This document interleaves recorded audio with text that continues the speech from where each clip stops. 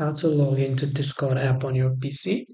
If you want to log into your Discord app on your PC, first of all, simply open up the Discord application here. And this is basically the kind of interface that you will see. Now, if you want to log into one of your existing account, or you can log into another account by clicking on add an account option.